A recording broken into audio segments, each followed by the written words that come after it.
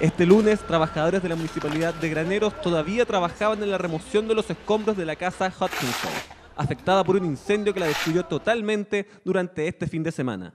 Las llamas se llevaron casi 130 años de historia de la vida granerina. En la casa fundada en 1884 se construyó el primer automóvil de Chile y fue residencia de William Braden y ahí estableció las oficinas de la Braden Cooper Company, antecedente directo de la actual división El Teniente de Codelco. Todo eso y más desapareció con el incendio. Perdimos parte de nuestra identidad, eh, gran parte de un hito. Nosotros que somos hijos de esta tierra, nacimos viendo la casa Hawkinson, la casa San Luis, como le llamaban nuestras personas, y no encontrarla de un día para otro es tremendamente impactante. Yo hablaba hoy día con personas de monumentos nacionales y les explicaba esa parte, que esa parte es la parte sentimental, la parte del corazón, la parte que se lleva adentro y que no se suma, no se resta y no se divide. Esa parte es tremendamente dolorosa y fuerte, fuerte, realmente fuerte. Yo me he abrazado con vecinos llorando, eh, me he abrazado con vecinos sintiendo el dolor de una pérdida tremenda como la casa, como la casa del pueblo, esa casa que es de todos, esa casa que todos tenemos que cuidar. Para los nacidos y criados en graneros, y también para los que llegaron hace décadas y se quedaron, la desaparición de la casa es un golpe fuerte para la identidad de la comuna y cada uno de ellos tiene algo que contar respecto de la casa Hutkinson. Oh, me da mucha pena. Ahora recién estaba viendo, yo no quise salir el sábado, pero horrible para mí, me voy muy triste, porque no saben cuidar lo, nuestro. Es como, es parte de nuestro cuerpo, de nuestra vida.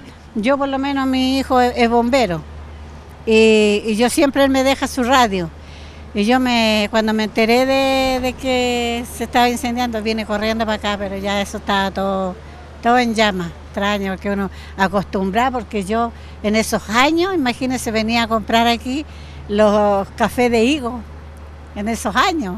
Imagínense cuántos años tenía esa casa.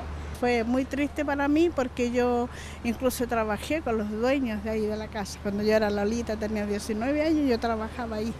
Un recuerdo que esa casa podía haber sido mía. ¿Por qué?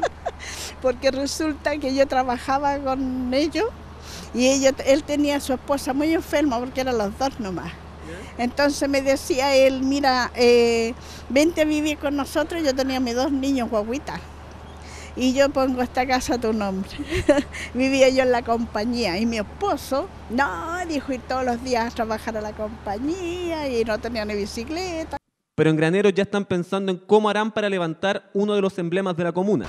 Claudio Segovia, alcalde, asegura que las reuniones con la DIVAM, la Dirección de Museos Nacionales, comenzaron el día siguiente del incendio y que el proceso para reconstruir la casa ya está en marcha. Estamos en condiciones de decir que la casa Hawkinson se va a poner de pie.